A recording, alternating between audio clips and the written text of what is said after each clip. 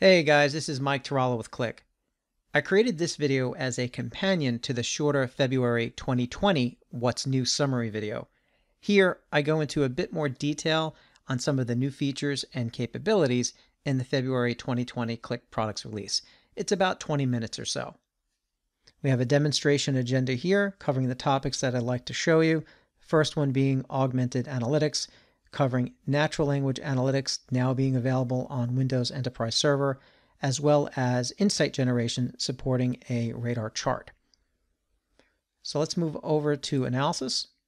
And you can see directly my Insight Advisor screen is a little bit different now, where I have the ability to ask a question using natural language to produce results. Now understand, if you're upgrading an existing Qlik Sense installation with February 2020, there are manual steps that are needed to enable this feature. If you're installing this brand new, this will be immediately available out of the box. Please refer to the Qlik Support knowledge base articles to learn more. Okay, so just to keep things simple, I'm going to say show amount by channel and brand.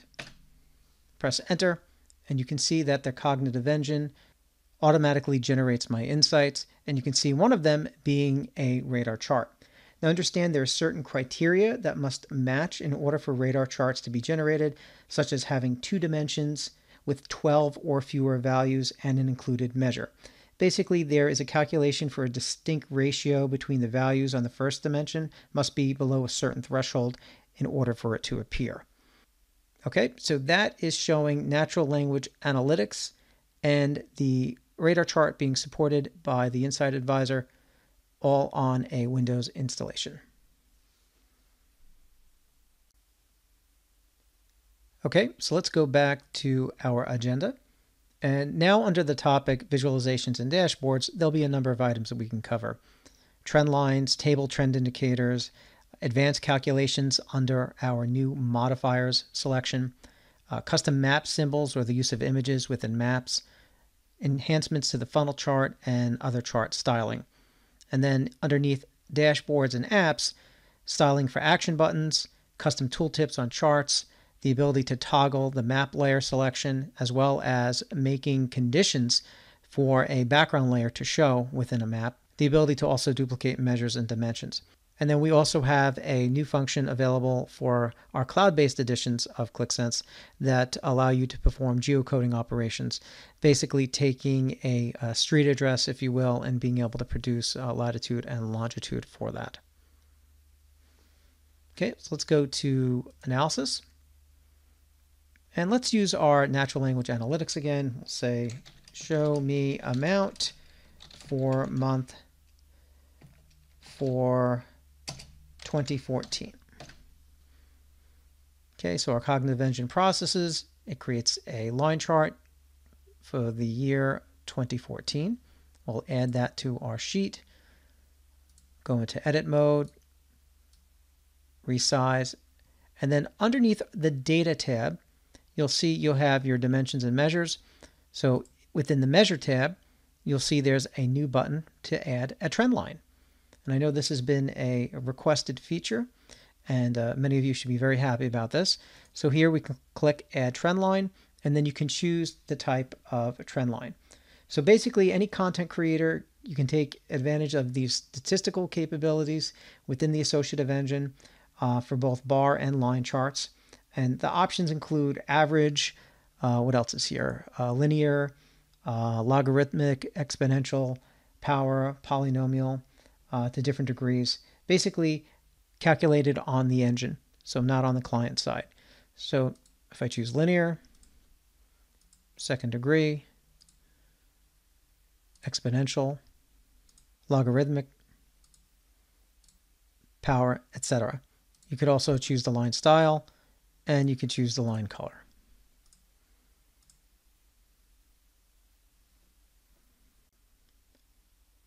Okay, the next one I'm going to show you is table indicators.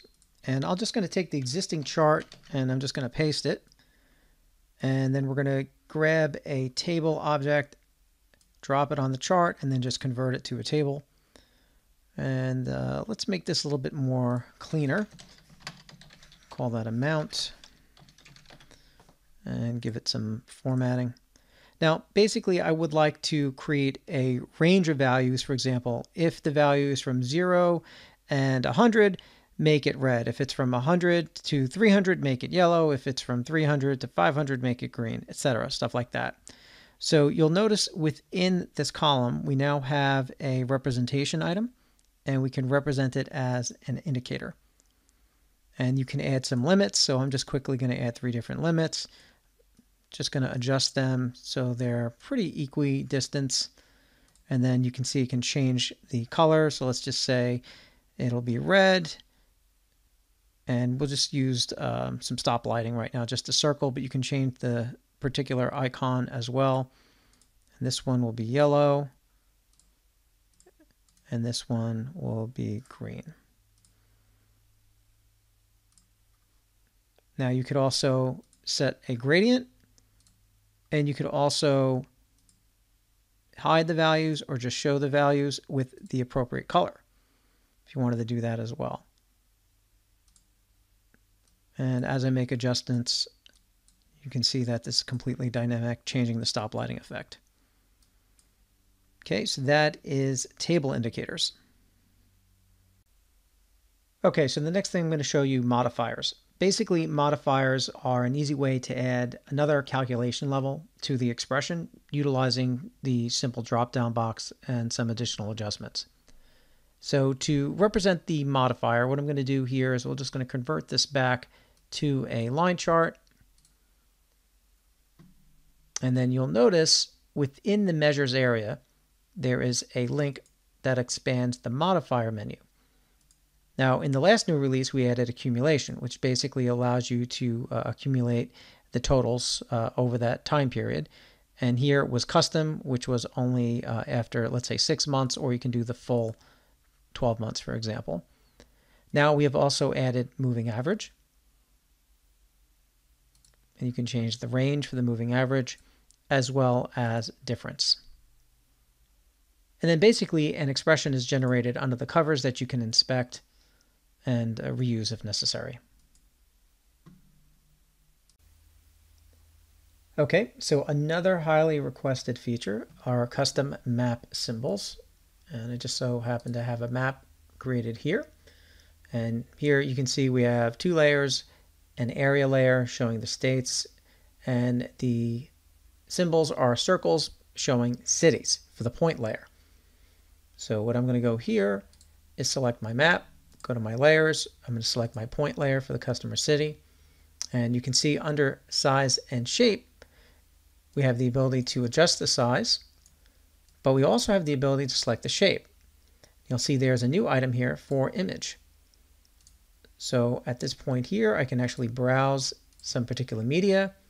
Here I have a map marker, which in this case it already exists. So we can select the in-app object and then choose the map marker and click insert. And then you can see those map markers are now available and I could adjust. You could also change the rotation.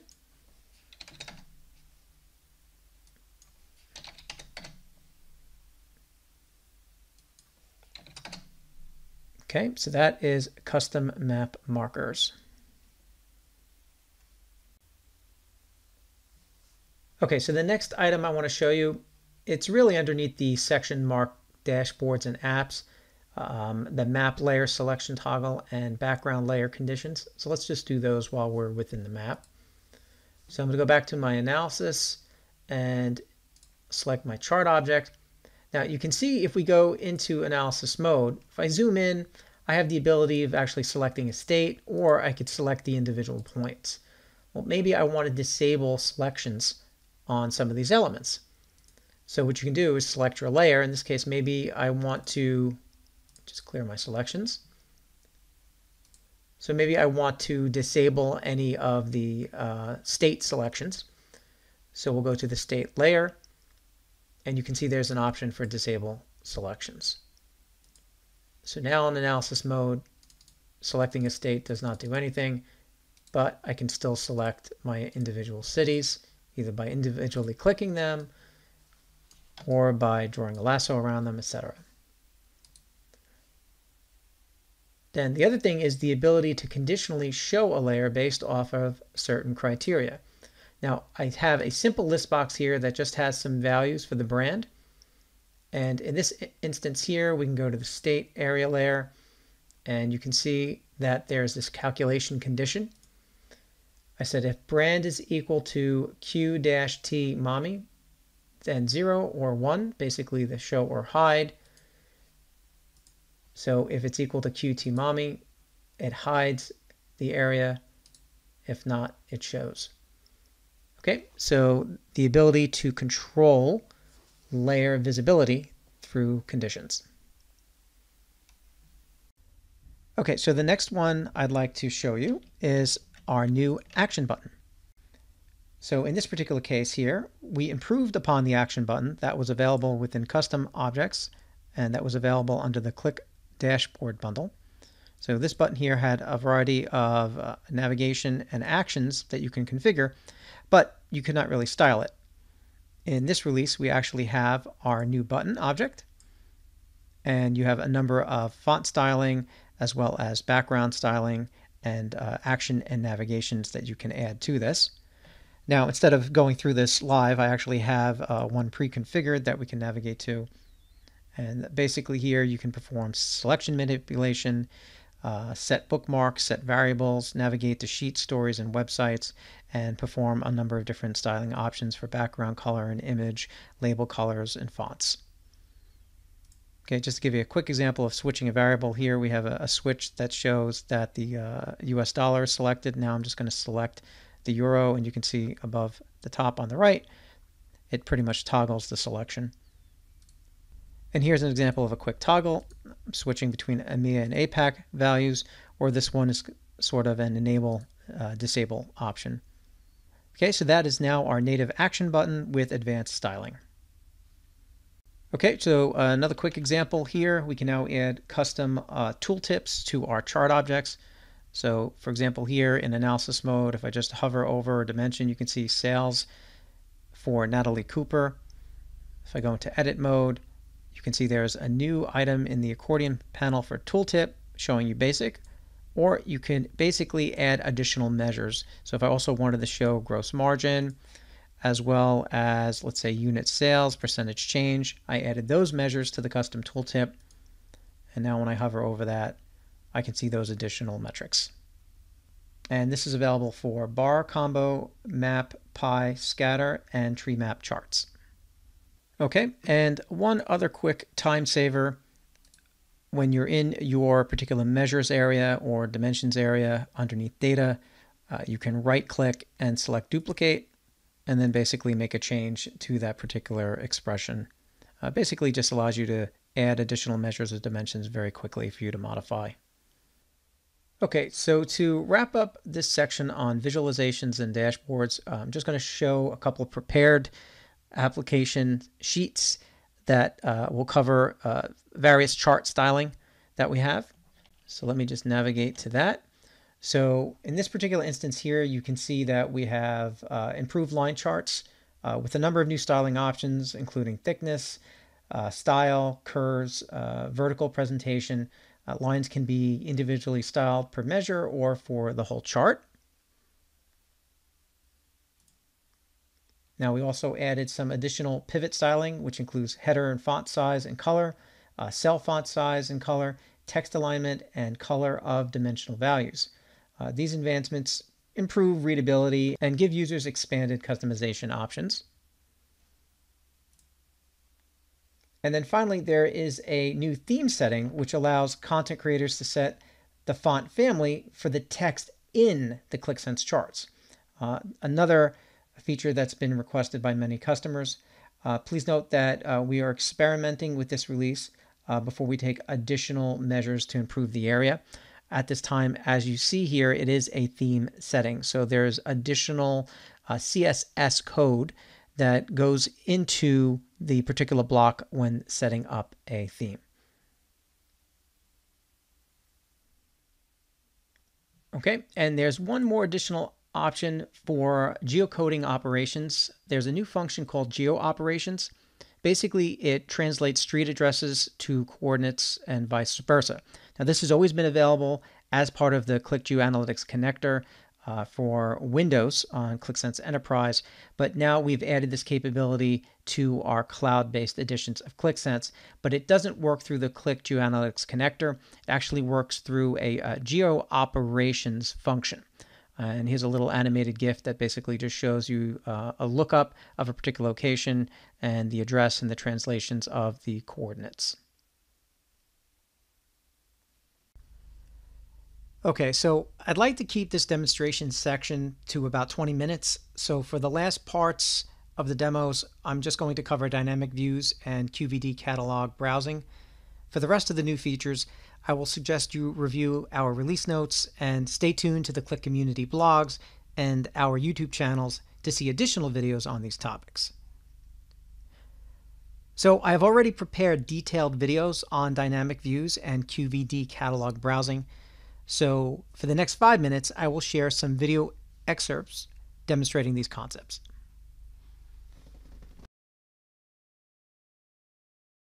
Dynamic Views allows QlikSense apps to be configured at the chart level, where you can define how often a specific chart or charts are refreshed.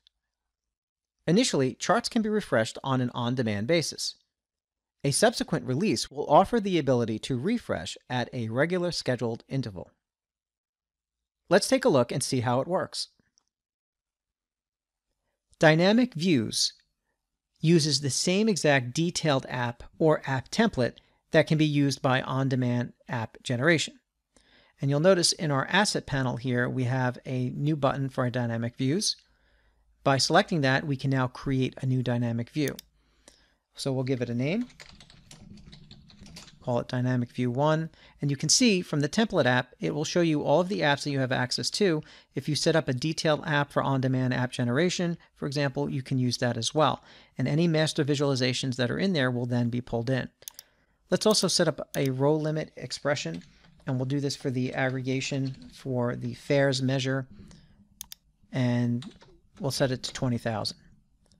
So by clicking create, we've now created this new dynamic view and it's pulled in all of the master visualizations from that app template. So now all we need to do is just drag them and drop them on the canvas. So let's say I'm interested in our fares number as well as uh, maybe some additional detail in the form of a table, and then our map. Okay, and these are the same exact objects that were available in the on-demand app generated uh, template when we went through that example in the beginning of the presentation. So at this point, we can go into analysis mode, and you can see that we have a little notification here explaining that the current selections exceed the constraints. So by selecting this, I can view the constraints. You can see our current row limit and then what the constraints have been set to. And you can see if there's any selections applied. And as I also mentioned, this is an on-demand refresh, so you'll have to initiate it. Subsequent releases will allow you to have this scheduled. So let's reduce our answer set to, let's say, just JFK rate code and payment type dispute. And now we can refresh our dynamic views because we have automatically set those constraints or filters.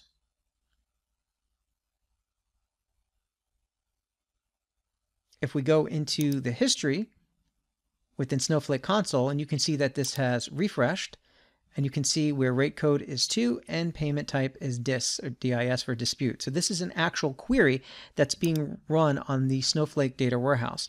And this console is showing that happening in real time and the duration.